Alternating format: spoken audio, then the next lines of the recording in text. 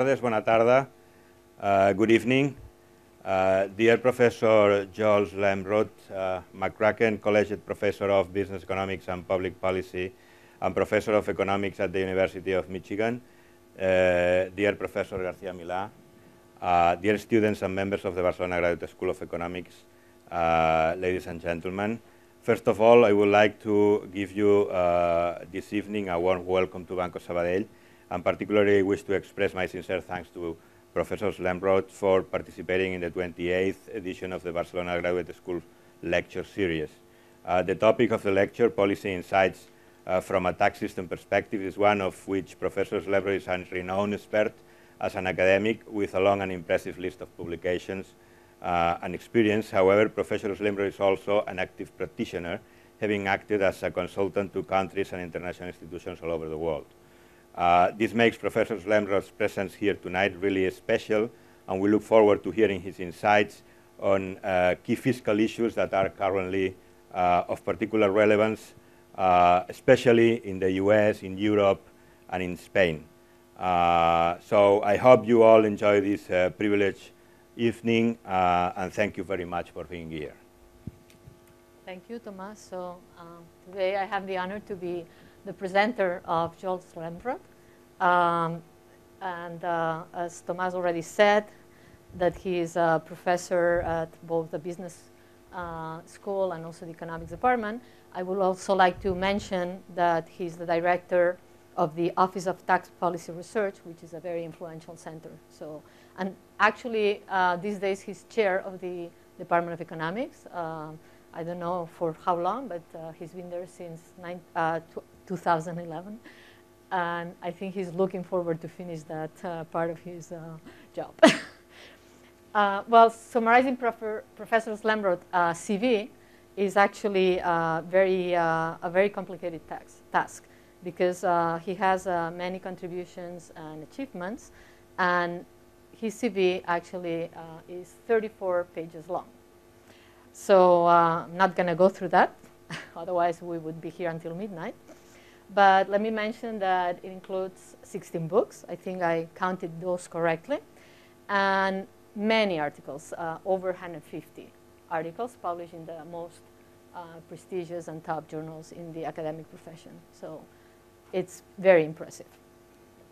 He has been uh, president, he, he has a lot of honors and positions, but let me just mention a few that I think are very relevant. He has been president of the National Tax Association, editor of the National Tax Journal, and co-editor of the Journal of Public Economics, and he's presently associate editor of the International Tax and Public Finance, and is serving in editorial boards of eight other journals. The list of awards is also very long. And I would like to mention the first, he had an early start because he had an award, the uh, National Tax Association Tax Institute of America Doctoral Dissertation Award. So with his dissertation, he already got an award. Walking through his CV, you can see that he's got a lot of awards, but probably the most uh, recent and very prestigious one is the Daniel Holland Medal, awarded by the National Tax Association in 2012. Uh, that's uh, for outstanding contributions to the study and practice of public finance. And I think indeed Professor Slemrod deserves the award. He has made important academic contributions and has provided advice to many governments and institutions. Professor Slemrod's work covers almost all aspects of tax policy and does it in a very thoughtful and rigorous way addressing at the same time relevant policy questions. He has also fostered multidisciplinary studies of tax policy research, trying to bring together and trying to acknowledge each other professions of the economists, accountants, lawyers, journalists, and practitioners, practitioners and policymakers. So uh, at least try to uh, get them know each other and try to work uh, in the same direction. One of the areas where Professor Slemrod has made major contributions is in tax evasion and in tax compliance, both at individual and corporate level. He has worked not only on measuring the importance of tax evasion and the difficulties of measuring the invisible, as it states in one of his uh, recent papers, he has also measured the cost of tax compliance. Going through his uh, work and uh, revising some of his uh, titles, it's actually interesting to, so, to see some of the titles of his papers. And one uh, catches the attention, actually, uh, probably for good reason. He finally got uh, the Ig Nobel Prize in Economics. This is awarded by the Annals of Improbable Research to recognize research that cannot or should not be reproduced. Let me uh, read the title of that paper, Dying to Save Taxes, Evidence from State Tax re Returns on the Death Elasticity. I'm not sure I want to know a lot about that paper, but uh, there you go. It's uh, really a catchy, uh, and actually was published in a very in a top journal. So uh, uh, it's a very important contribution. He has advised uh, international institutions and governments all over the world, IMF, the World Bank, OECD, government, several governments, many governments, among them Canada, Norway, or Portugal, and several states in the United States, and of course, the United States, the, the country, uh, at different level, at different positions, and for different institutions. He's continuously giving advice to policymakers. So when I was think, you know, preparing this uh, presentation, I thought, well, I wish that he could also give some advice to the uh, very important tax reform that we need in our country, and also give some of his expertise on trying to avoid the large tax evasion that we have. Um, one of the things that distinguishes our country is that we're at the top of the list in the tax evasion in Europe. So maybe Joel could help us in doing something and trying to improve that. Let me just, uh, to finish, uh, mention uh, one of his uh, books that has been a reference. Uh, it's called Taxing Ourselves, A Citizen's Guide to the Great Debate Over Tax Reform. It's going through the fifth edition and has been translated even to Japanese and Chinese. Before I finish, I would like to put a, a personal touch to my talk because uh, when Joel was a very young assistant professor, I think it was his second year at Minnesota, I arrived there to do my PhD. Uh, unfortunately, uh, I was in this macro time series, rational expectations, trendy macroeconomics in Minnesota, and never took a course from him. But I did not know then that his lectures would have been really very useful, uh, especially to my late incursion in public finance. So I think it's never too late to learn. So here I am, I am and with you uh, in this uh, room to benefit from his Barcelona GSE lecture today, Policy Insights from a Tax System Perspective. Thanks very much, Joel, for being here with us today.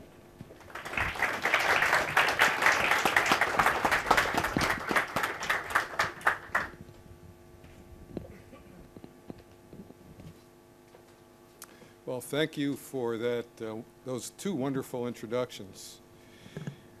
Uh, when I hear introductions like that, I, I wish my um, parents could have been here because my, my father would have been very proud and my mother would have believed it. uh, I want to thank um, uh, Banc Sabadell and the Graduate School of Economics at Barcelona for inviting me uh, here to this wonderful city. I've been to Bar. This is my second time to Barcelona. I was here once 40 years ago. And when I tell people that, they say, well, it must have changed a lot. And um, I guess it did, although I was a student at the time and didn't really notice much. I do remember, though, I came at a very critical time in Spanish politics. It was a few weeks after, I don't remember the man's name, the second in command to Franco had been assassinated. And I was here a few weeks after that. And it was a very tense time. And um, one thing that's changed is I think it's safer here because I was on a, a tram or a bus 40 years ago, and a, a, young man stood up with a pistol and started yelling in Spanish. And I'm thinking, well, this is where I'm going to die. I'm going to die in, in lovely Barcelona. But uh, at the next stop, he just jumped off and never shot the gun. So I feel much safer. 40 years later. And I, I, love, I love the city. I hope to come back again next year when I'll be on sabbatical in England, and my wife will be with me. I'll come with my wife for the third time, not 40 years after the second time. So um, I'm going to begin by talking about some tax phenomena that uh, maybe we don't see much uh, connection between them at the beginning of the talk, but if things go well, by the end of the talk, we'll, be, we'll have a framework where we can uh, put a lot of these things together. So the first one I want to talk, uh, phenomenon is an, a new type of motorcycle that was introduced in a country that had three wheels and had long benches at the back seating up to eight passengers. Okay, what does that have to do with tax, you might be thinking? And in, a, in, another country at a different time, a redesigned panel truck that had glass windows instead of panel windows like you'd think of in a panel truck, and had upholstered seats in the back. Both were designed to avoid high taxes on cars. So by changing the, um, uh, the the makeup of these vehicles, they just were on the non, the low tax side of, uh, of being a car. Next phenomenon is an income tax is based not on income, but for example, for restaurants, the seating square footage and the number of tables. Simplified tax rules, or no tax at all, levied on businesses below a certain size very common around the world. The Commissioner of the Internal Revenue Service testifying before a Congressional Appropriations Committee in the United States that if they were appropriated, say, another billion dollars more, it wouldn't increase the deficit by a billion dollars. Rather, it would decrease the deficit by six billion point three because the every additional dollar added to the IRS budget would generate seven dollars and 30 cents in additional tax revenue. Tax experts declaring a value-added tax as a self-enforcing tax administrator's dream, while the same people deriding the retail sales tax, which according to our textbooks is equivalent to a value-added tax, as not acceptable under usual standards of equity and intrusiveness by the way, many of you will know that the United States is one of the few countries left in the world without a value-added tax, while 45 out of our 50 states have a retail sales tax. In the United States, the self-employed remit only 43% of their true tax liability, so have a 57% non-compliance rate, while wage and salary earners remit 99%, so have a non-compliance rate of 1%. And finally, uh, this one I, uh, allows me to tell a story about my family, but let me first uh, tell you what the phenomenon is. U.S. corporations making substantial real investments in Puerto Rico, a territory, not a state of the United States, in electronics, pharmaceuticals, and high fashion production. Three industries which are, which are not generally considered activities in which Puerto Rico has a comparative advantage. So by the end of my talk, I hope all of these things will be clear, but the reason I get this has to do with my family is several years ago we took a family vacation in Puerto Rico. We get to the airport and we start to drive where we're staying. My kids at the time were probably 19 or 19 and 13 and or probably maybe even less than that. And I was saying, you know, this is a great exercise in in taxation. Look at at the corporations on the side of the road. It's American electronics companies, American pharmaceutical companies. Why do you think they would be in Puerto Rico? And of course, you can guess their response. Dad, shut up. It's a vacation. Don't talk about taxation. And then uh, it was New Year's Eve, and um, as in many newspapers, they on New Year's Eve they had a summary of the big stories of the year. And the number one story was the threat that the United States would change its tax law to disfavor uh, investments in Puerto Rico. And I brought this in to show them, and of course they had exactly the same response. Um, so the point I want to make tonight is that the standard uh, models we have of tax analysis struggle to explain and illuminate these particular tax phenomena. And I'll try to uh, explain why and try to begin to construct what I call tax systems analysis that can handle uh, these issues and others. So let me first say something about the modern theory of taxation, which I date to about 1970 with the seminal contributions of Nobel laureate uh, James Mirrlees and Peter Diamond and others. And it was really a breakthrough in how economists address the issue of taxation.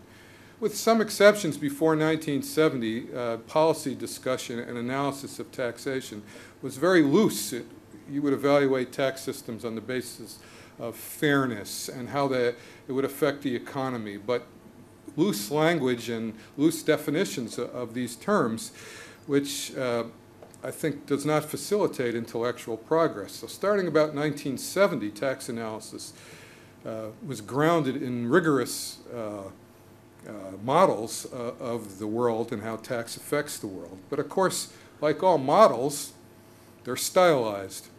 They explain some aspects and encompass some aspects, aspects of the world and not others. And you can guess that I believe that they emphasize certain aspects of taxation at the expense of the sort of issues that I began my talk with. So let me tell you what, what I think the limitations of this standard analysis is. I am not in any way denying the incredible contribution of the modern theory of taxation. But it's been 40, 40 years when I was here, uh, coincidence, I think, um, since uh, that analysis, and I think it's time to move on. So here are what I think are some limitations of the standard model, standard toolkit for anal analyzing taxation. There's little attention paid to the administrative and compliance costs of taxation, which are not trivial. Uh, in the U.S., I believe the compliance cost of taxation is on the order of 10% of income tax revenues, so that is certainly not trivial. The administrative costs are much lower, and our, our Internal Revenue Service will also often talk about the costs of taxation, of collecting taxes, as being just the administrative costs. So they will divide the budget for the IRS by the amount collected, and that's about 0.5%. And they'll say, well, this is a tremendously efficient system. It costs 0.5% per dollar raised. But we know now that the compliance costs, the costs borne directly by taxpayers and third parties, to be at least 10, perhaps 20 times higher than that. So that's a big underestimate of the true cost of a tax system there is a, has been a discussion predominantly in developing countries about so-called tax handles, which means taxes which are relatively easy to raise with limited administrative resources. And of course, there's always limited administrative resources. Second limitation is a focus on tax rates and to a lesser extent tax bases, which is fine and important, but to the relative exclusion of all other tax system instruments, by what I, uh, and what I mean is enforcement tools. So things like audits. How much auditing should a tax authority do? Who should be audited? What, what penalty should there be for evasion? What about loopholes? Uh, how do we think about uh, whether to allow loopholes to per persist? Another example of an enforcement tool is public disclosure of either people's income tax liability or tax liability generally, or disclosure of people who are thought to have evaded taxes. You probably know that in many Scandinavian countries, there is public disclosure of income tax uh, liability and taxable income and wealth tax, wealth tax liability. And in Norway, you can just go on the internet and find out everybody's uh, taxable income. When I discovered this fact, I was in my office in uh, Michigan, and it was a Norwegian postdoc who uh, was with me, and she told me this. And I immediately said, well, let's go look up the taxable income of Agnar Sandmo. Now, that's probably just an in-joke that only a few of you get, but Agnar Sandmo is a professor who has been the one who has initiated the modern economic study of tax evasion. And I know him well. He's a wonderful man, but that was the first thing I did as I looked up his income. At the time, you, you had unlimited, uh, you could do unlimited searches. Since then, uh, it's a little bit harder to get uh, the information. You have to have a password. I probably couldn't do it anymore. Three, uh, and limit, third limitation, a focus on what might be called real behavioral responses to taxation, meaning labor supply or savings or uh, choice of job, to the relative exclusion of avoidance and evasion responses.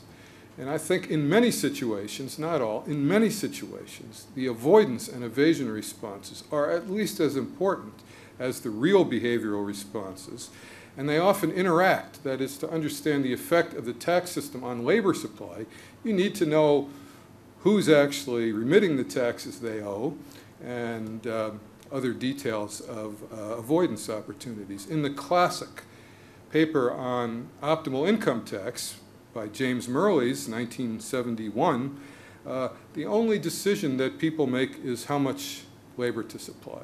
So there's no issue of avoidance and evasion responses. And I mentioned that Agnar Sandmo was one of the authors with uh, Allingham of the uh, classic seminal article on the economics of tax evasion.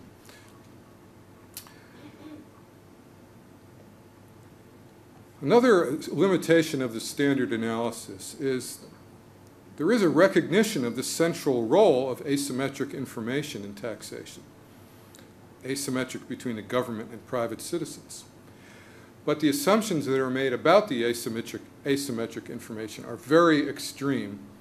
They're on the extremes of any reality regarding what is measurable by the tax authority without cost and what is not measurable at any cost. So again, in the classic seminal article on income taxation by Mirrlees, the key quantities are income, labor income, and people's ability or effort. And the assumption is that the government can measure income perfectly and without cost, and cannot measure ability or effort at any cost. It's a great place to start, but of course the reality is somewhere in between for both income and ability or effort. The tax authority can, can't measure income without cost, often, maybe almost always, and can measure ability or effort imperfectly, but at some cost can measure both. So I'm going to argue that a tax systems analysis wants to get, should go beyond these extreme assumptions about the asymmetry of information between the government and the taxpayer. Another limitation of the standard toolkit, which I have begun uh, recently to think is actually quite important, is there's no meaningful role for firms. If you read the standard optimal tax literature, modern tax literature, you won't see firms mentioned. Why? Because in the early days, in order to make progress on modeling taxes, a particular assumption was made about production functions, that there was constant returns to scale. And uh, most of you probably know that when there's a constant returns to scale production function, the scale of, a give, of one firm is indeterminate. It could be one firm producing everything. It could be lots of firms producing a small amount. The firm size is indeterminate and irrelevant. Well, this is actually a major limitation of a model that wants to look at taxation because we all know that in all modern tax systems, firms play an important role. Firms are providing information reports to the government about labor income they're withholding tax for labor income tax and other kinds of taxes. And it's a lot easier for a tax authority to deal with bigger firms than small firms. I hope as I talk you're seeing the connection to some of the tax phenomena I started with. So for example, a hint is that if there's a fixed cost element for the government in dealing with firms, there is, you start to see a reason why it might be optimal for the government to explicitly or implicitly ignore the small firms. But we, in the standard toolkit of tax analysis, we can't get at this kind of issue because we don't have small firms or medium-sized firms or large firms. And I tell my graduate students that uh, when they have to pick two fields at Michigan, I tell them, well, of course, there's no question you'll teach, you'll take public finance as one of your fields. But I uh, encourage them to take industrial organization as a second field so they can start to think about how to integrate more serious models of the distribution of firm size, et cetera, with tax issues. No concern with the details of tax remittance. If you have taken undergraduate public finance, you will have run into a folk theorem which goes as follows.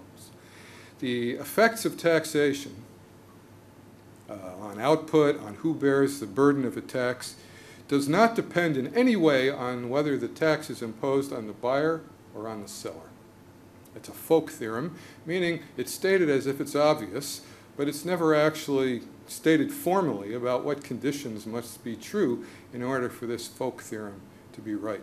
And one suspects that it isn't right because in every modern tax system, it is firms that are remitting tax for the most part, and individuals which are not, even in a retail sales tax in the United States, it's the retail firms which remit the tax, not the uh, consumers, the customers. So just by looking around, we can tell that it's probably not irrelevant. So I want to argue that a tax systems perspective can provide insight into these issues and other important issues, and then eventually we'll, I'll come back and we'll go through the tax phenomenon. So uh, the title includes the term tax systems, and I've been talking about that, but I haven't told you what I mean by that, so now I'll do that. So what do I mean by a tax system? Well, a tax system has is a set of rules, regulations, and procedures that do three things. One, it defines what events or states of the world trigger tax liability and how much tax liability. So this is sort of the standard uh, concern of tax analysis. So this is about tax bases and rates. But now I want to add two more things. A tax system also specifies who or what entity must remit that tax and when. I call that remittance rule. So this is what a textbook will tell you is irrelevant, but every law says it, know, it doesn't just say what income tax liability is, it says whether a firm has to remit the tax, whether the individual has to remit the tax. For retail sales tax, uh, whether it's the retail business, under a value-added tax, of course, it has to specify which business has to remit the tax. And the third thing a tax system does is it has to detail procedures for ensuring compliance with the tax rules, including information reporting requirements and the consequences of not remitting legal liability. So I call those enforcement rules. So a tax system is about tax bases and rates, so is regular tax analysis. The tax system analysis is also about remittance rules and enforcement rules. And the standard analysis presumes that tax uh, liability can be ascertained by the government costlessly and collected costlessly, in which case the second uh, statement here is irrelevant, and the third statement is unnecessary. If everybody pays what they know, what they owe, then certainly we don't have to worry about enforcement rules. But I think we could all agree that just uh, thinking about one without two or three is not addressing the world that we live in. So uh, in a tax system analysis, we're going to recognize that there are people, I don't know about in Spain, but in the United States, who just remit their tax liability dutifully, and they never think strategically about whether they should remit or not. But then there are others who think about this as a tactical decision, a cost-benefit analysis, and who remit their liabilities if uh, the odds go in that direction, and they don't if the odds of uh, successful evasion seem favorable. We're going to take seriously that taxpayers will rearrange their affairs to legally reduce their tax liability, including efforts to reduce their liability without altering their real activities. So the first I'll call evasion, it's illegal. The second I'll call avoidance. These are legal things that uh, people do to lower their tax liability. That is the standard dividing line between evasion and avoidance, there are, of course, situations where it's not clear whether it's something is avoidance or evasion, or whether it's a little bit of both. We're going to recognize that limiting avoidance and evasion is costly. It's costly uh, to the government and because of direct compliance costs to the taxpayers, and the tax authorities have limited administrative resources. And the tax authorities have multiple, but again, limited policy instruments. So it's not only the rates and the bases, it's the auditing rules, it's the uh, penalties for uh, detected evasion, it's uh, whether to have the disclosure or not, it's whether to, uh, how much information to require of a taxpayer when submitting the tax return. I won't talk about this much today, but a tax system analysis would recognize that taxpayers have cognitive limitations. And I think in this group we can also recognize that tax policymakers have cognitive limitations. And finally, the world is complex, and that complicates the collection of non-capricious taxes. The word non-capricious is important here because it's pretty easy and uh, low cost to just capriciously have tax burdens, just you know, randomly assign tax liabilities. That's easy to run a tax system like that. What makes it more costly is that we have views about that tax liability ought to be related to, say, people's income or level of wealth. And some of the uh, complexity comes because in all modern tax systems, the tax system is used not only to ascertain a fair tax liability, but it's there to achieve specific social goals, like encouraging charitable contributions or encouraging research and development more than there otherwise would be.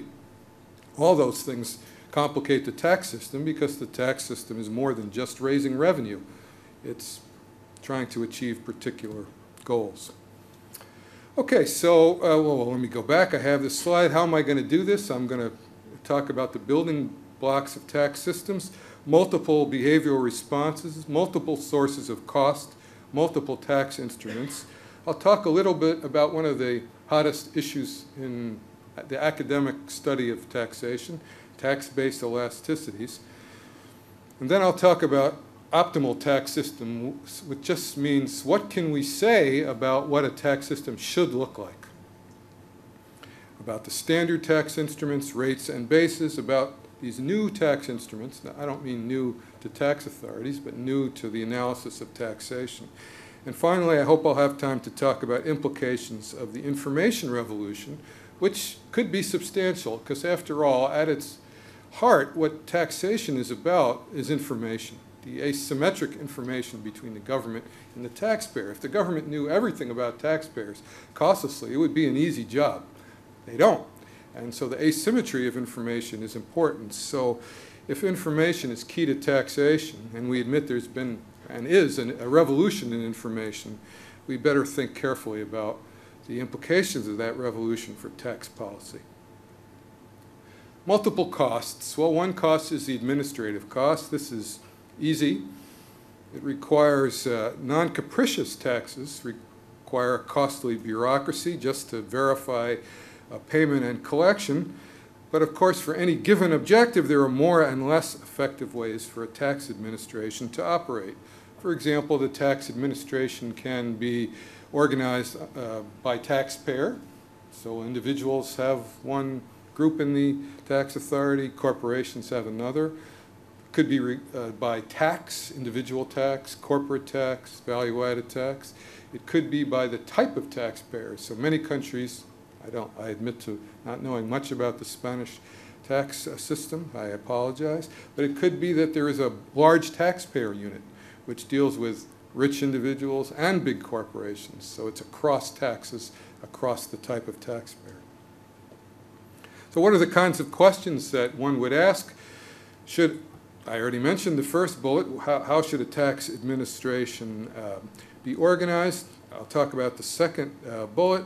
There are important procedural differences across tax systems, including the degree of self-assessment, how much a country relies on the taxpayer's um, provision of information to the tax authority, how much uh, income withholding is used, and how much um, of arm's length information reporting there is of tax liabilities to the tax authority. In the U.S., uh, a firm has to report how much income they paid their employees. They, they, many banks have to report how much interest in, they paid to their uh, policyholders.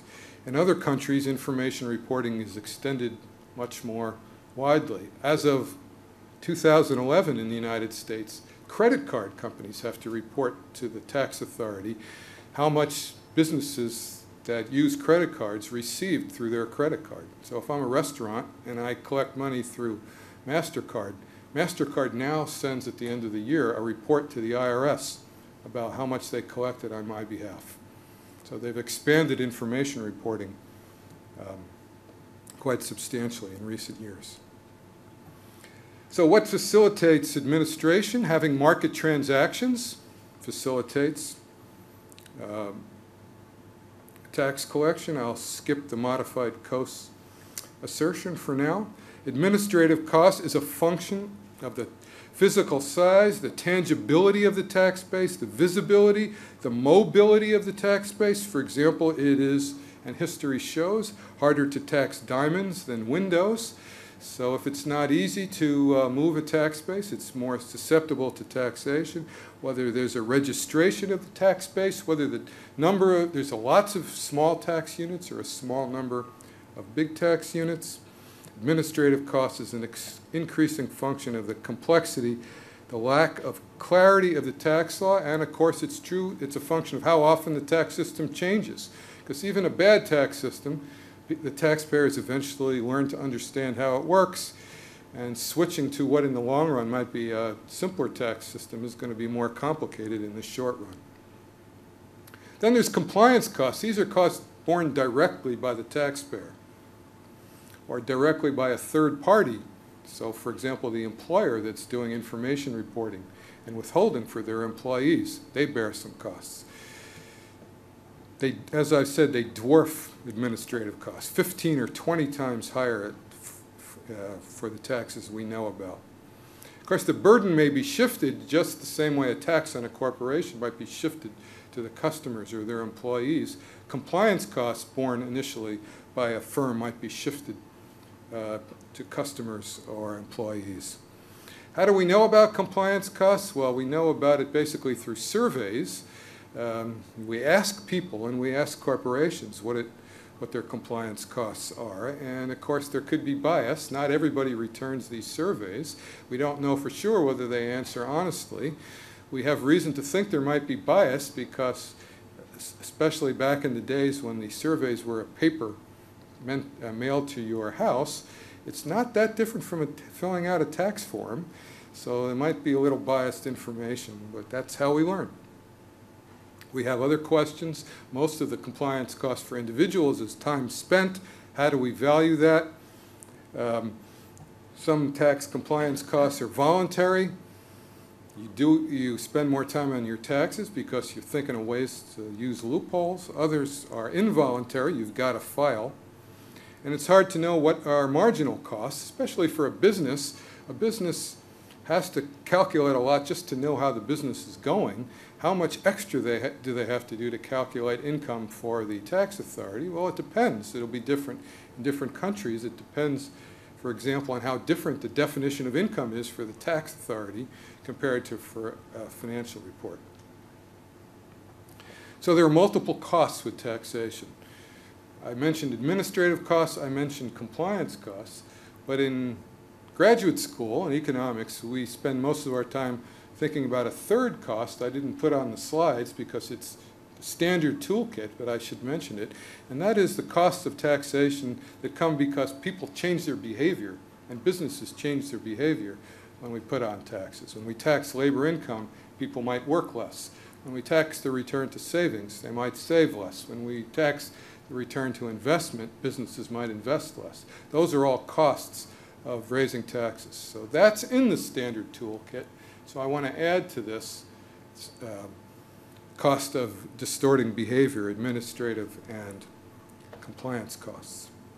Now the standard toolkit takes into account these sorts of behavior responses, labor supply, savings, research and development. So what I want to talk about today is adding to the standard toolkit some other kinds of behavioral response. So I mentioned Agnar Sandmo and his co-author had the first um, positive analysis of tax evasion. So it's a model, it's the kind of model when you tell somebody about it when they're not an economist, they look at you like you're crazy. And the model is, well, how do I decide whether to evade taxes? Well, I make a decision under uncertainty. If I understate my income, there's some chance I won't be caught, in which case I'll have saved taxes. But there is a chance I will be caught, in which case I got to pay up what I owe plus some penalty. So the model of Allingham and Sandmo is the same model, essentially, as a model of portfolio choice. In portfolio choice, you can choose between a safe asset and a risky asset. You have the risky asset. If things go well, you earn more. But if things go poorly, you earn less. So what they basically did is adopt to the economics of crime, and in this case tax evasion, the standard model of portfolio choice. And what does the standard model of portfolio choice say will determine what your portfolio is, how risk averse you are, and what the, uh, the, ra the ratio of expected return to risk is. And so now we have a model of tax evasion which says whether I evade and how much I evade depends on how risk averse I am, what the chances are I'll get away with tax evasion, are, and what happens if I get caught. So that's the modern model of uh, tax evasion. It's a little trickier if you apply it to a corporation, but I'll leave that aside. So that's sort of a deterrence theory of tax evasion. What deters tax evasion is probability of being caught and what the penalty would be. There are lots of non-deterrence theories out there mostly by non-economist social scientists, but also by economist social scientists, which say, well, that can't be all there is. It can't just be a cost-benefit analysis. There are people who pay their taxes because of a sense of duty. They pay their taxes as out of a sense of altruism. They pay their taxes or not depending on whether they think the process of determining taxes is fair or not. There is not much empirical support to date for uh, these uh, non-deterrence theories outside of the laboratory. So in a lab laboratory, you can get uh, behavior that seems uh, close to duty or altruism or process. But outside of the la laboratory, in the real life situations, we have not found much evidence of these non-deterrence theories explaining the amount of tax evasion. But there's plenty of evidence for the deterrence theory. I mentioned to you that the compliance rate for wages and salaries is 99% in the US. It's 43% for self-employment income. Do I think that self-employed people are inherently more dishonest than wage employees? Not at all, or not substantially anyway. Every wage and salary earner in the U.S. knows if they didn't report their income, they would be caught. They'd get a computer notice a month after they file their return. Every self-employed person knows it's very hard for the IRS to know what their true income is. So the difference in compliance rate between 99% and 43% is certainly due to the difference in the perceived probability of being caught. Um, empirical analysis of tax evasion, I've done a lot of work in this, so I can say it's challenging. One of my colleagues once said that empirical analysis of tax evasion to try to understand the determinants of it is very straightforward except for two things. You can't measure the right-hand side variables, and you can't measure the left-hand side variable. So I take that as a challenge, and it uh, requires some creativity. One way to go is what I call the traces of income approach. Um, I don't know if this uh, non-tax example will resonate in Spain, but in the United States, uh, people in their cars have radar detectors, so if they're speeding, they can tell if they're going to be caught. Well, the only reason you would have a radar detector is if you're planning on speeding, right? So one correlate with speeding is to look at the demand for radar detectors, right? It isn't illegal to have a radar detector, but you're darn sure it's correlated. It's a trace of that. So we can look at traces of tax evasion. I understand um, I heard an anecdote since I've been here that apparently Spaniards uh, have a lot of 500 euro notes. Well, uh, probably the only reason to have 500 euro notes is if you're operating in the cash economy, thinking of not complying. And Pissarides and Weber have this wonderful paper where they have food consumption, and they relate food consumption to income, reported income, and they, know, and they make one assumption that the consumption of food as, uh, as a function of income is the same depending on, regardless of your employment status. So whatever the percentage of your income you spend on food, it doesn't depend whether you're an employee or whether you're self-employed.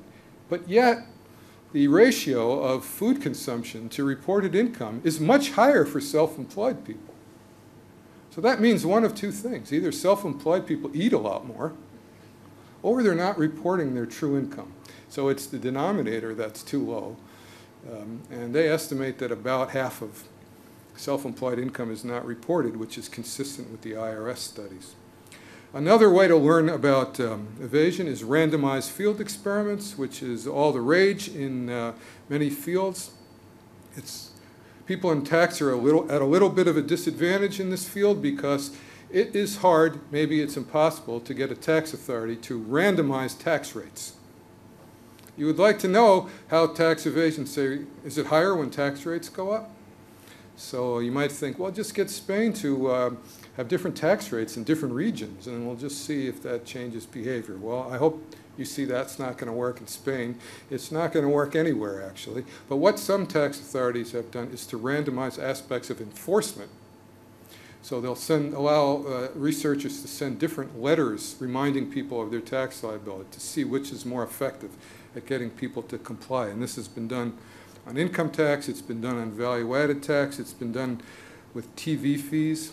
And finally, the third promising development is the use of uh, administrative data, mostly in Scandinavia, but now in the United States. Researchers on a restricted basis are given access to the universe of tax return data in a country, which allows tremendous progress in research because the sample sizes are bigger than the samples that are public use data.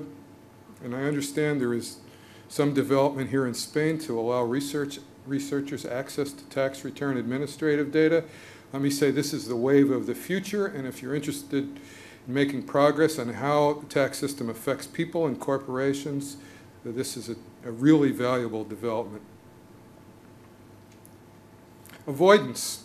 Oh, uh, I mentioned that avoidance are legal ways to reduce tax liability.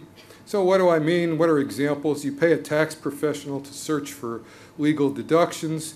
You arbitrage, meaning that there's two fairly similar assets which have different tax treatments, so you go long on one and you go short on the other. So you're not really taking a substantial position, but you're saving on taxes. You slightly retime a transaction when the tax law is uh, going to change from one year to the next. You slightly re-engineer a vehicle so it's just on the low tax side of a definition. If a car is taxed more heavily than a truck, you change the vehicle so it's just a truck. And um, there are many, many examples of uh, such slight re-engineering of vehicles. And then there are interactions among responses. So I'm now going to talk about Puerto Rico as an example of this. Why, in Puerto Rico, this uh, relatively low income territory, why did it have US companies that do electronics, pharmaceuticals, and high fashion? Some of you might have figured this out. My kids didn't, but they didn't try. Um, so I have to explain a little bit about what the tax system was then. It's changed since then. So Puerto Rico had a very low tax rate, corporate tax rate. And they addition, in addition had an agreement with the United States government if a U.S. corporation earned income in Puerto Rico, and then they repatriated the income to the United States. If this were a foreign country, the difference between the U.S. tax rate and the home country, the host country tax rate would be owed. So let's say a U.S. multinational invests in Ireland with a 12.5% tax rate. In principle, it's much more complicated, though. When the money comes back from Ireland, the difference between the U.S. tax rate and the Irish tax rate is owed. So that would be 35 minus 12.5, 22.5% more. Our, uh, Puerto Rico had a low tax rate, but they had an agreement with the U.S. that when the money came back to the U.S., nothing more was owed. This made Puerto Rico a very attractive place for investment, U.S. investment. But it made it particularly attractive for a particular kind of business, high margin. So what you want to be able to do is, you, uh, if you're, a, say, a U.S. pharmaceutical company and you have a plant in Puerto Rico, what you want to be able to do is to be able to claim that all the profits of this business were earned in the Puerto Rico firm. You want to push all the margin into Puerto Rico. And so the U.S. parent company earned nothing, or maybe even made losses, you want to be able to say. It was the Puerto Rican company that earned all the profits. Low tax, no tax due when the money comes back to the U.S. So now I'll tell you what they did in the pharmaceutical plants my children and I saw as we were driving to our wonderful tourist destination. Now, I'm, and this is a certainly an exaggeration, but I'll give, this will get, give you the idea. So what happened in the Puerto Rico plant, no research and development, but the input was powder, the formula that had been discovered in New Jersey, where the, a lot of the companies were. And the assembly line in Puerto Rico, they would just compress the powder into a pill. And the output is a pill. Input powder, output pill. You would think that doesn't provide a lot of value added. Aha, but that depends on what price parent charges the Puerto Rican subsidiary for the powder. Say they charge a very, very low price. Then it looks like all the profits are in the Puerto Rican subsidiary. It looks like the process that goes on in that plant is what's adding all the value. We know how much this hap- went on because there was a court case many years ago about a U.S. drug company. And based on the information that became public, we know that the rate of return in this particular year for the Puerto Rican subsidiary, subsidiary of this firm was 135% annual return, and the parent was return was minus 14%. Now you can bet it's not really that way. You can bet that the real value added is in the research to find the formula that goes on in New Jersey. But in order to take advantage of this, the U.S. company had to do something in Puerto Rico. There was real investment in Puerto Rico. There were real people working there. So this is an example of the interaction between tax avoidance, which is mostly what was going on here. This wasn't illegal, except if pushed to an extreme. But to take advantage of that, you had to put a plant there and do something. So the interaction between the avoidance opportunities and the real investment were important. So I call this an avoidance facilitation, implicit subsidy to the real investment in Puerto Rico. The fact that once you had this plant in Puerto Rico, you could do this income shifting was key. So electronics, what happened there? Well, again, I'm exaggerating, but back in the days when there were diskettes, so the input was a blank diskette, and, the, and in the middle they just put the software on the diskette, and at the end came out the diskette with the software on it. So you might think there's not much value added from that, but that depends on what price was charged um, for the um, for the technology for the software. And if you set the prices right, it looks like that's where all the value is. And high fashion, well, maybe not all of you will agree with me, but if you think all the value, uh, value of high fashion clothes is due to advertising, and it's not really a difference in the quality of the clothing, well, the advertising expenses are all taken in the parent, against the parent, and uh, you can shift a lot of the income to uh, Puerto Rico where the clothes are made, and you charge very little for the, uh, the apparel costs very little, and you can sell it for a lot, and it, all the income looks like it's in Puerto Rico. Um, I've uh, indicated that withholding and information reporting are absolutely key to compliance. So I'll just give you uh, some percentage numbers here to, I hope will convince you. In the United States, income tax for income where there's little or no information reporting, including small business, we think the non-compliance rate is 56%. When there's some information reporting, it's down to 11, and now skip down to 1% when there's both withholding and substantial information reporting. This is employee income, 1%.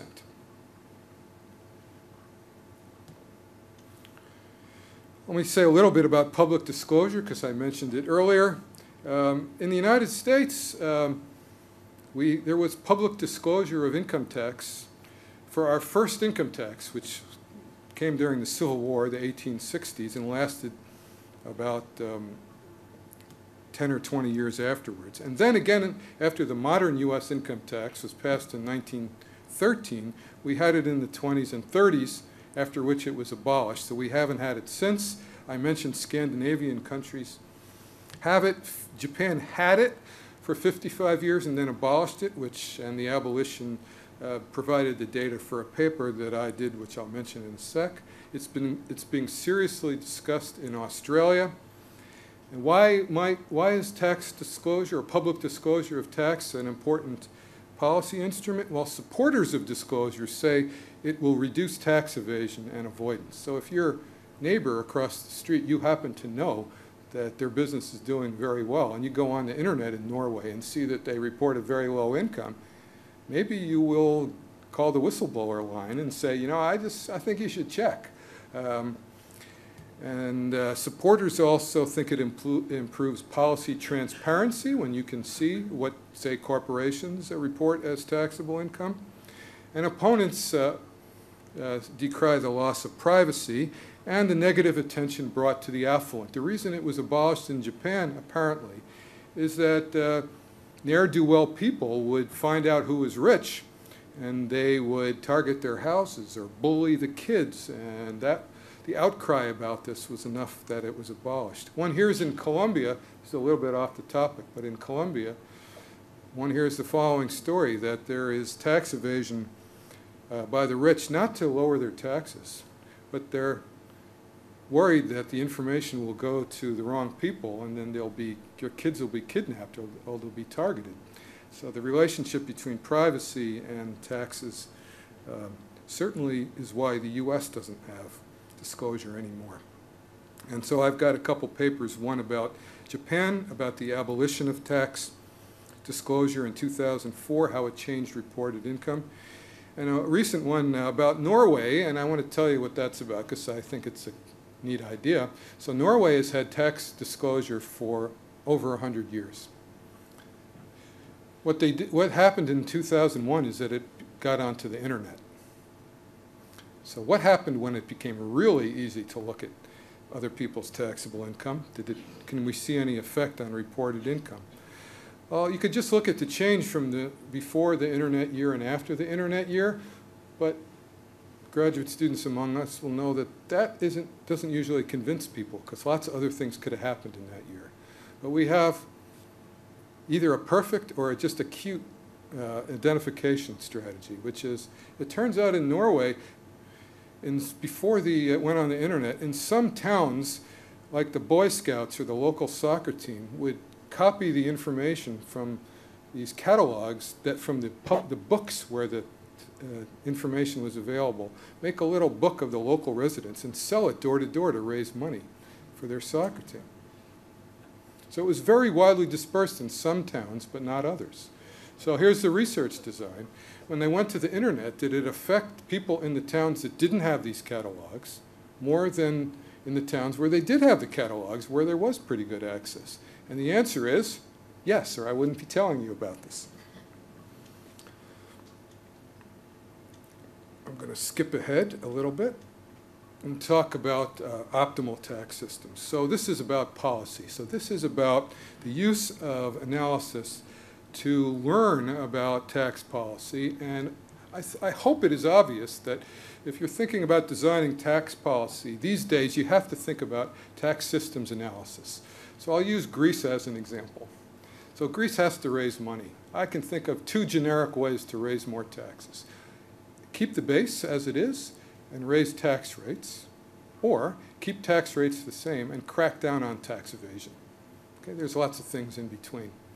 The standard tax analysis won't give you the answer to that because it doesn't look at uh, these multiple kinds of instruments, uh, including au more auditing or more information reports, et cetera.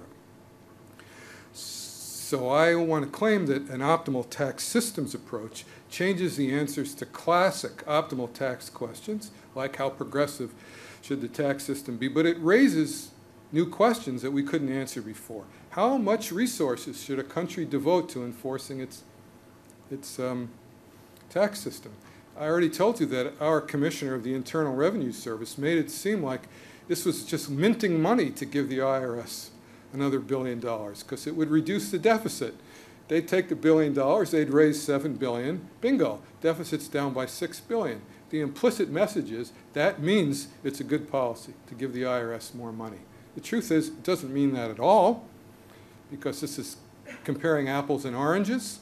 The apples are the billion dollars of real resource cost to, goes to the IRS, the people, the computers, et cetera. And the seven billion is a transfer it's not new money to the economy. It's just transferring it from some non-compliant people, admittedly, to the government and then back to everyone. But it's not uh, new resources. So that uh, it, to say that because you get seven dollars, we'll raise seven dollars for every dollar you give us, that means it's a good policy. Wrong. What, here's an, uh, how, what's an optimal auditing structure? How do you collect information? How do you involve firms? If higher ta uh, tax rates on the rich would induce taxable income to move offshore, should we, does that mean we should abandon the attempt to increase top tax rates? Or does that mean we should crack down on the flight of capital? Or a little of both? This is the kind of question which I think is central to the tax policy of many countries that we can talk about with optimal tax systems. I said we have to bring firms into tax theory, and I said that if you read an intermediate tax textbook, you would think it just doesn't matter who remits the tax. There is a folk theorem in every public finance textbook. All the consequences of tax are the same, regardless of whether the tax is on the buyer or the seller. And uh, I can convince you that that's right, and then I'll convince you it's not right. And here's how I'm going to convince you it's right. Think of a retail sales tax. So in Michigan, there's a 6% tax on retail sales. So I'm going to use what uh, I call there the cup at the counter metaphor. So I'm going to convince you it doesn't matter who remits the tax. So I buy something for a dollar before tax, so I owe dollar six. I'm the purchaser. So here's two things I could do. I could give a dollar and six pennies to the cashier. And then there's this little cup right at the counter, and it says tax collections. I could give the cashier one dollar and six pennies, and the cashier could put the six pennies in the cup. That's method one. Another method is I come to the cashier, I give the cashier a dollar, and I put the six pennies in the cup. In one case, the money is remitted by the firm. In the other case, it's remitted by the consumer. But you all know it's exactly the same. So that's the easiest way to convince yourself it doesn't matter which side of the transaction remits the tax. But now I can convince you of the opposite, and of course, in many cases, the opposite is true. Does it matter whether a firm remits the tax for its employees, or a retailer admits retail sales tax, or on the other hand, each employee has to remit the tax, or for a retail sales tax, each customer has to remit the tax. Like at the end of the year, tote up their purchases and remit 6%. That would be a huge difference, and this is why we don't see a lot of variation in who remits tax across the world. It's always uh, firms. 150 plus countries in the world have a value added tax. Only a couple have value, uh, retail sales taxes over 5%. In a textbook, the value added tax and the retail sales tax are identical. They are both uniform consumption taxes. 150 countries have a value-added tax. Nobody has a retail sales tax except maybe Brazil, over 10%. It's because the remittance is so much easier, in fact, maybe self-enforcing uh, for a value-added tax. So remittance matters. Why exempt small businesses? It happens all the time. In the U.S., there's no explicit exemption, but we know implicitly there is because the IRS just doesn't bother with most, most small businesses. We have a theorem from the classic uh, uh, optimal tax due to Diamond and Mirrlees, Nobel Prize winners. It said whatever you do in taxation, you shouldn't uh, in, uh, enact any tax which uh, causes production inefficiency. So for example, you shouldn't have a tax which pushes production to small business from big business. So that means that small business exemptions always are suboptimal in the standard theory.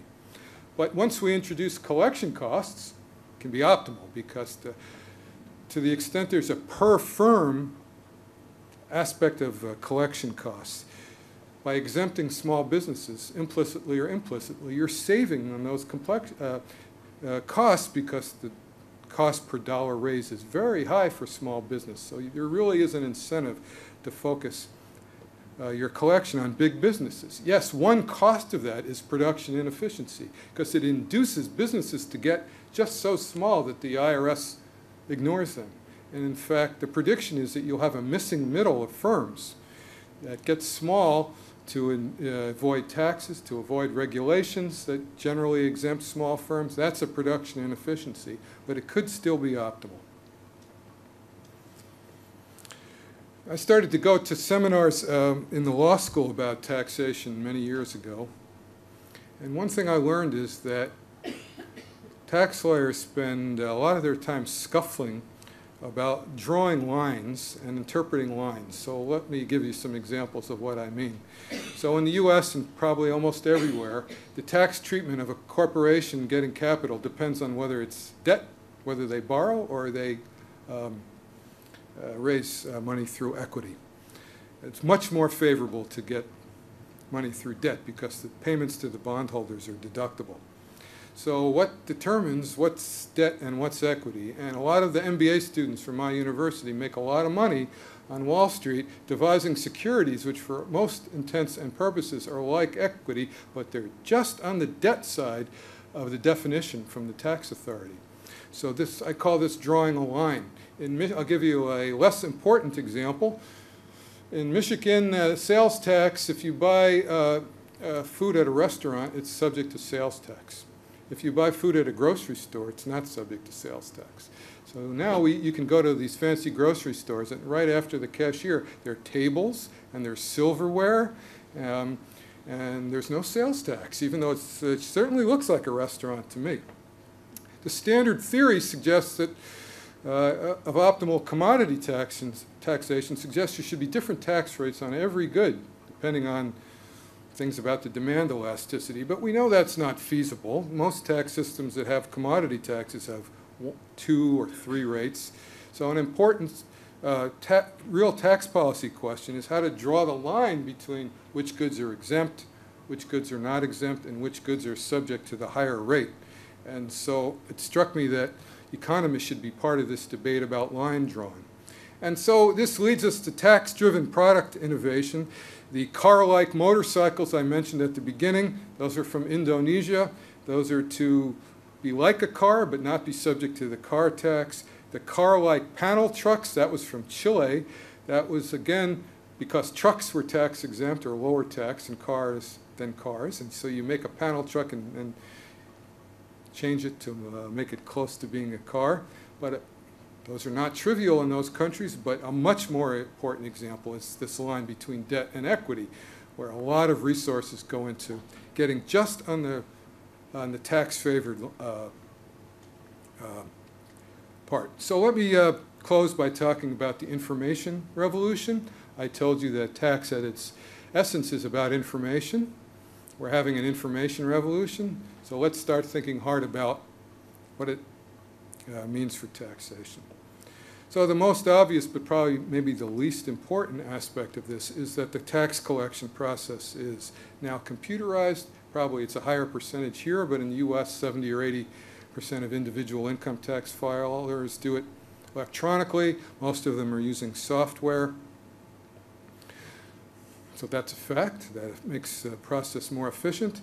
Uh, but uh, let's think about what else it means. Let's look 10, 20 years down the road. Um, we, all, we have examples of how uh, computerization of information matters. In Finland, if you uh, are caught speeding, the fine that you owe depends on your income. So you get pulled over by the policeman, uh, gets your number, looks it up on his handheld or her handheld computer, and the fine depends on how wealthy you are. And the great example is there's some very rich Finn had a $140,000 speeding fine. So when we have a lot more information. We can do things uh, as a government that we couldn't do before. We can have smart cards for taxation so that the consumption tax rate depends on your income or how many dependents you have. Think about how that would work. Um, so these are examples of how computer uh, electronic availability of information can expand the options of tax authority, but there are also ways where it can expand evasion opportunities. And I'll give you one example. Some of, I don't know if you've ever heard of zappers, but uh, this is maybe, well, maybe it works for value-added tax, so I've only thought about it for retail sales tax. So what's a zapper? So say I'm a restaurant, I get this software, and I put this uh, into my electronic uh, cash registers, and what the software does is it randomly eliminates some of the sales. So when the IRS comes to audit me, and I say, I, well, I only had this many receipts, and it says, well, I don't believe you. I want to see the computer records. And computer records back me up. These are called zappers. And they work wonders for retail sales tax. They work wonders for income tax because it also reduces net income. And um, so there's an example of what of uh, electronic uh, means for making tax evasion easier. And I use restaurants as an example because one of the big cases in the United States of use of zappers is a restaurant about a mile from my house. And what made it even more in the news is that apparently, allegedly, the money skimmed off from this restaurant went to support terrorists. So then everybody was suddenly interested. If it's tax, nobody cared, but if it's terrorism, everybody cared. So now I'm done, and now what I want to finish with is just go through the seven phenomena I started with. Now we now we can explain all of them. So let's won't be a quiz. Okay, so new types of a motorcycle and panel trucks are examples of tax-induced product innovation. We changed the product to get it just on the low tax side of the line. Or we change the secured, the way a company raises uh, capital to be just defined as tax, uh, as debt rather than equity. Basing a, a, restaurant's income on the square footage of the restaurant or the number of tables is called a presumptive income tax, and that is a substitute, substituting what you really want to tax, income, but it's very difficult to measure the income of a restaurant, with something that's correlated with income, number of tables, square footage, where in the city the restaurant is, something that's correlated and more, e and more easily measured. Simplified tax rules or no tax at all on business, small businesses. What that does is it economizes on administrative costs at the expense of production efficiency, right? It's pushing firms to be small. That's bad. They're smaller than they otherwise would be, but it saves the administrative costs uh, by the tax authority only having to deal with a small number of larger firms which already have fairly sophisticated accounting that an additional dollar added to its budget will generate 730, uh, $7.30 in additional tax revenue says nothing about the wisdom of increasing its budget. I didn't really prove that. I just told you it's apples and oranges. Trust me, it's correct. Over 150 countries levy a value-added tax, many at rates well above 10% or above 20%. None, with the one exception I mentioned, levies a retail sales tax at over 10%, testifying, I believe, this is the clearest evidence you can imagine, that what our textbook equivalent taxes are not real world equivalent taxes. And the details of who remits the tax matters. Think about a value added tax as a system of withholding of tax and remittance of tax by businesses at different stages of production and distribution. We know withholding matters. Value added tax is an example of that. With limited withholding and information reporting possible, the self-employed, especially those operating in cash businesses, are the final frontier of tax compliance. I told you what the IRS has recently done, forcing the credit card companies to report to the IRS uh, the receipts of businesses. And I have uh, talked at great length about my adventure, the Slemrod family in Puerto Rico, when my kids didn't want to talk to me about this, but uh, the U.S. corporations found real investments, putting real factories in Puerto Rico, uh, attractive because it facilitated this income shifting to low tax Puerto Rico and lowered their worldwide tax liability. Um, Frank Hahn, the British theorist, once said that optimal tax formulas are either guides to action or nothing at all. If they're going to be guides to action, I'm totally convinced we have to expand how we do taxation to include these uh, phenomena and the formulas and the standard tax analysis is far from the reality of the world that we face. And we need to expand our analysis to these issues that are prominent in the formulation and implementation of all countries' tax policies. Thank you.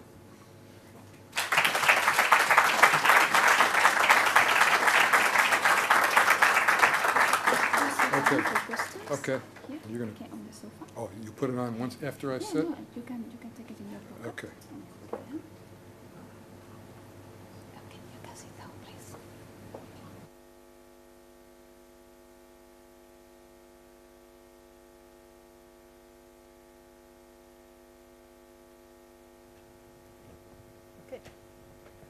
Seems uh, we have some time for some questions. Uh, let me first say that this was an incredible talk. I enjoyed a lot and have a lot of questions and answer actually. But let's hear the audience. Uh, Thank you very much for your excellent uh, uh, lecture. How we should think about shadow economy and uh, evasion uh, in times of crisis? Um, uh, becoming bigger or becoming or shrinking like the economy, like the, the, the known and official GDP? Uh, I've, I've heard different views on that, and I'm sure your, uh, your research and your experience has seen many different, uh, different behaviors, or, well, I, I think this is a matter which is probably difficult to, uh, to, to quantify, but um, it's Yes. really very interesting, especially for us in Spain, where Yep. shadow economy is considered to be huge. So let me first agree with your point that it's difficult to measure. I have a paper about how to uh, do empirical work about tax evasion, and the title is Evidence of the Invisible. So that, uh, that summarizes how tricky it is. So I think um, I can say two things. One is the positive question, how would the crisis affect the informal economy? And second, the normative question, how should policy toward tax evasion change when the informal, when you go into a crisis? So uh, the first one I haven't thought much about, but uh, if I um, had to predict, uh, I would say the informal economy would uh, expand relative to the formal economy as uh, there are more layoffs. People are looking to survive and support themselves so that it's easier to find informal work. On the policy side, I think it probably makes it more important to uh, enforce the informal economy because the crisis came with it, a uh, crisis in revenue raising.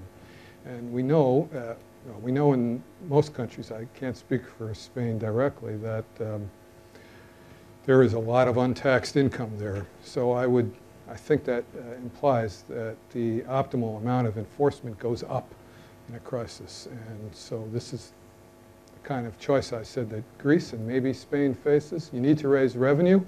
You do it by raising taxes with the current base and the current level of enforcement? Probably not.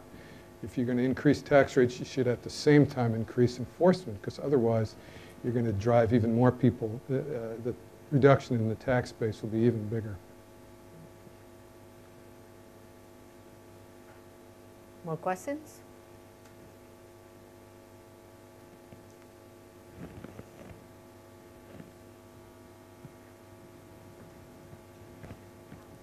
Hi.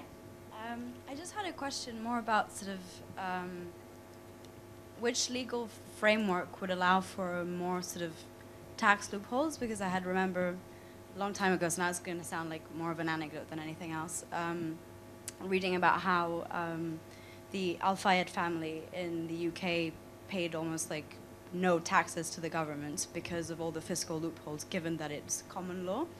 But then um, reading sort of about more recent research about the fiscal system in France, um, Piketty was sort of underlining how like the rich managed to have loads of tax evasions in a sort of more codified um, type of legal system. So I was just wondering, in your opinion, um, which one and which of those sort of legal systems and the importance of legal framework for maybe sort of tax loopholes. Yeah, that's a great question about which I know nothing. But I thank you for emphasizing my uh, lack of knowledge in that area. I'm an economist. I do talk to lawyers more than most economists about taxation. But I haven't given much thought to that question. I can answer the question I thought you were going to ask. I thought you were going to say, once you mentioned the Al Fayed family, you were going to say, why didn't I talk anything about uh, the use of cross-border transactions to facilitate evasion? Can I answer that? You wanted to ask that too, right? and so the answer is yes, it's very important, especially for corporations and high-wealth individuals. And to, um, I didn't talk about it all today, but uh, it requires probably better cross-country coordination of tax systems, not necessarily with the bases and the rates, but the exchange of information. Because as I said, information is really the base of uh, the, uh, the critical element of uh, taxation. Uh, so that I have an answer to. Thank you for asking the second part. Um, thanks. I just had um, kind of two questions related more to the structure of taxes. Um, I'm not a tax expert myself, but um, what I was wondering is, do you think the way that we structure taxes at the moment is sufficient to manage equity concerns, particularly for the rich? So um, less of a focus on assets, more on income. Um, and um, related to that, I've just gone blank what my other question was. So if you could answer. So now they- they'll add up to two questions. Should I answer the first one while you think about the second one? Um, Well, of course, that's a, a great and topical question about um, whether the progressivity of tax systems is sufficient. This is a question that economists tend to, most economists tend to stay away from because, uh, and I'm one of them, because I believe that economists have no comparative advantage in talking about equity, uh, vertical equity, and fairness. So my view is the economists should give menus to politicians. If, if you have this level of progressivity, this will be the impact in the economy. If you have this other level, this will be the impact. And then through the political process or whatever, there's a choice about how progressive the tax system should be. Your question was whether the tax structure is sufficient to uh, achieve the level of equity you want. So I think in the US, the tax system, which is based on income, we have no uh, wealth tax, although we have local property tax, is sufficient to get uh, a considerable amount more progressivity. Uh, Our top tax rate is now uh, 35% at the federal rate. It could be higher. We could, uh, the top tax rate on capital gains is now 20%. Capital gains are earned largely by high-income people. It could be higher. So I, I- think in the United States, the tax structure is not the constraint for more progressivity. It's actually the politics that are the constraint.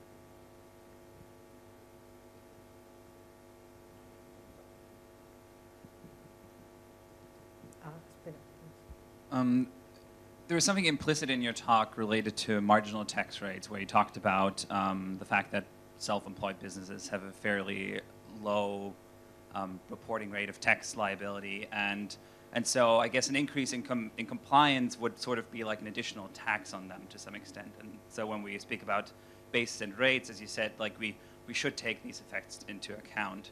So to what extent do you see that happening in the political sphere that that the talk sort of moves away from a, a mere focus on sort of nominal rates that are that are raised and rather more on on sort of these implicit marginal rates that, that come from, for example, increasing compliance? Yeah, that's a, a very good question, and one that, the, for the U.S. anyway, is sort of outside the level of political discourse. Um, so let's talk about economics first, then we can talk about politics. So, of course, the effective level of taxation depends not only on the statutory rates, but on the extent to which those rates are enforced. And if we keep the rates the same and we in, uh, increase enforcement, that is an increase in the effective tax rate. That's absolutely right. But if you're talking about efficient allocation of resources, you need to give me an argument why there should be a lower effective tax rate on small business than on other income. People have offered such arguments, and I've never been convinced. So I would think that cracking down on noncompliance for small business moves the effective tax rate toward where it should be. That's not to say it doesn't reduce the return to being a small businessman, but I don't see a good reason why uh, we should induce resources to move into small business uh, for that reason. Political discourse. Um, most politicians in the U.S. won't explicitly say that we endorse evasion because it reduces the effective tax rate on certain sectors, such as small business. They, they won't be so bold as to say that explicitly. Um, they will certainly talk about when there's policy discussion of raising income tax rates, they will say, well, this will especially hit the small business sector and uh, reduce the engine of growth in the United States. But they, usually won't refer to the, these facts about compliance rates.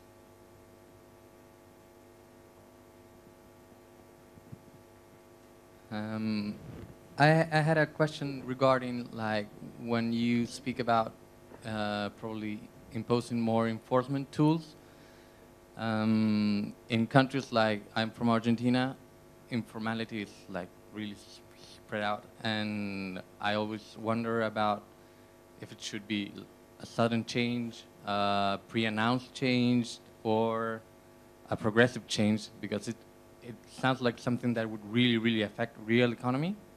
And also, uh, if you can mention something about how uh, different economies regarding the structure of the economy, like we have a lot, of, like 90% of our firms are small-sized firms, and the cost of compliance for those firms is much higher than for big firms. And Okay. probably that has something to do with it. Okay, so let me try to remember, there was a lot of questions there. So first question was, was if there is a major change in enforcement of small business, should be done, should it be done gradually or overnight? Well, I think the political reality is you can't do something like that overnight. There has to, I don't know about the Argentine political system, but there would have to be discussion. And if it's a huge change, it almost certainly would have to be done gradually. And um, I can see reasons for surprising people, but I'm fine with gradual. Okay, second question was, how does what I said depend on the structure of the economy? And you mentioned that 90% of businesses in Argentina are small. That is an endogenous statistic. One reason 90% of businesses in Argentina are small is because they get around, they don't, are not subject to regulation and taxes. This is the missing middle I was talking about in many developing countries. That you have an incentive to be just small enough that you stay below the radar of both the tax authority and the regulatory authorities. So it wouldn't necessarily be 90 if there was a different system of enforcement. Um, but yes, it does generally, so I'll make that point. But yes, it's, I think it's certainly true that the tax policy that you want does depend on the structure of the economy. Say if in Argentina's comparative advantage was in businesses and industries that favored small businesses as opposed to you know, steel or telecommunications where there's natural reasons to be big. That does affect the tax policy. So I think the short answer to your question is yes, the tax structure does matter. Yeah. Lots of questions. Thank you. Uh, you hear a lot about. Uh, Is it all Americans here, by the way? Guilty. We're an international. Two, right? I heard at least two. Go I'm sorry. Guilty. Yeah, no, I, I'm from Boston. Um, but you hear a lot Oh, about. Red Sox, right? Yes, World Series. Sorry, there's a little sports, little sports talk here. Thank you. Um, you hear a lot about simplifying tax code everywhere, um, but but as you mentioned, a lot of the deductions and, and credits have, you know, um, motives to increase investment or the mortgage deduction, you know, things like this. In your opinion, all things considered, which deductions or, or credits um, are the most distortionary, and which, if you could eliminate any of them, would would you? Well, I can answer that only from an American perspective. So the biggest um, deduction or exemption in the United States is the exemption of employer-provided health care. It's a huge, uh, it's a $100 billion plus per year cost in tax revenue. I would get rid of that one first. I happen to be, um, can, I, can I say the word hard ass here? Okay. I happen to be a hard ass when it comes. I would uh, be pretty uh, orthodox about getting rid of a lot of uh, uh, special preferences. Now, that doesn't mean that we should do what some politicians have suggested in the U.S., which is get rid of all business deductions. Well, that's crazy. Legitimate costs of doing business, we need to keep them. There are some others that there are good economic reasons to subsidize, like research and development. I'd keep that credit. But um, for a lot of the exemptions and deductions which are there to subsidize or favor particular activities or particular sectors, I'd get rid of most of them. State and local income tax deduction would be gone if I were in charge. Charitable deduction, gone. So I'm pretty hard ass. Yep. Uh, Tomas had another question.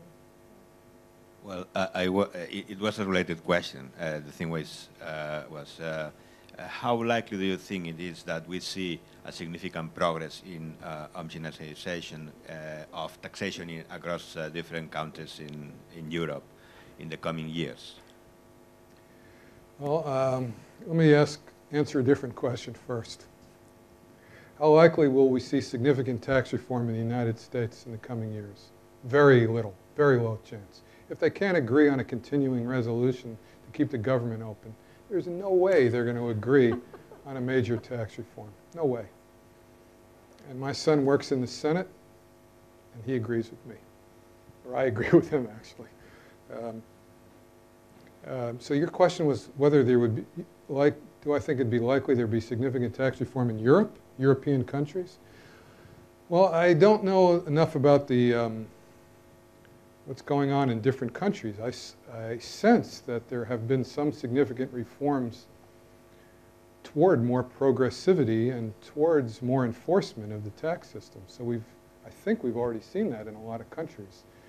Um, whether you call that tax reform or tax, you know, malform, or whether that's going in the wrong direction, I don't know. Um, it seems also to me, but you would know better than me, that the uh, movement toward harmonization of European tax systems seems to have lost its steam uh, when, uh, in the wake of the crisis. A few years ago, somebody who I think very highly of told me he thought the common corporation base would happen in a few years. This was a few years ago. I, my understanding is that it's not on the horizon anymore. Uh, so there have been some movements toward information sharing among countries because they're, they are trying to minimize uh, movements of uh, tax revenue outside their, the country towards tax havens. So I can see slight movement of European, comma, high tax countries, comma, uh, in sharing information to reduce the use of tax havens, but I don't see much beyond that. More questions?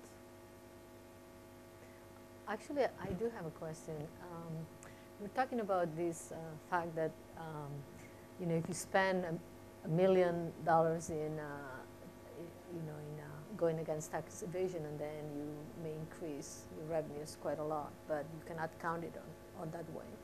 But if you do that, you're going to get, you're going to be maybe able to reduce some taxes that distort the economy. So, are you taking that into account? I mean, it's a, you know, in Spain, um, there is a, a large belief in Spain, for example, that few people pay a lot of taxes and many people pay very little, Mm-hmm. and that that distorts the economy a lot. So, investing a little bit on tax evasion would be highly profitable socially. Mm-hmm. Um, So I am taking that into account. So let me tie your question with an earlier question. So if you crack down on tax evasion, those people you're cracking down on, they fa- face a higher effective tax rate. So, so um, whatever uh, distortions you think you're lightening because you can lower other taxes, you're increasing those distortions. That's not to say it's not worth anything, but it's not a pure gain. It's a gain because you might have a better allocation of resources away from the sectors that got resources just because you could get away with tax evasion toward other sectors. So that's not zero, but it's not measured by the revenue you get. And if you were going to then ask, how do you measure it, I would say, that's complicated. I have some papers on it, but it's, it's not easy. It's not, a, you can't just look it up in a budget. Another question. It's sort of a follow-up to what you just said and, and some things you said earlier. Um, so what would you say sort of the, the perspective in the literature on time variant tax rates, like from a macroeconomic perspective? Is there some kind of point to maybe having tax rates that vary with certain macroeconomic variables? What would be the sort of optimal system for that? Yeah, I have, as in the introduction suggest, in my introduction suggested, I tend to be on the practical end of uh, tax policy, so that, uh, for people like me, that stayed in the uh, realm of theoretical papers. Have seen interesting suggestions where there should be automatic um, changes in, in the tax rate structure depending on the state of the economy The US Congress would never agree to that, never. And I, um, so it's just not going to happen in my country. And do you know of a country where it, it could happen, where the legislative process would just give in to some automatic mechanism where tax rates would automatically go up or down? It's just not going to happen. Not in my lifetime, which is, of course, different than your lifetime. Okay, um, so I think we're ready for the cup of cava, and before that, I really want to thank you, Joel, for Thank being you all. here. It's been a great lecture. Thanks a lot.